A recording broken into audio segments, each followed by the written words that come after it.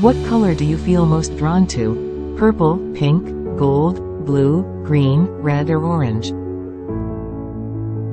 Purple. This will stimulate self-responsibility, inner strength, creative visualization, intuition, calmness and clairvoyance. Pink. This will stimulate your intuition, imagination, self-knowledge, meditation and artistic qualities. Gold. This will increase fun, humor, lightness, personal power, intellect, logic and creativity.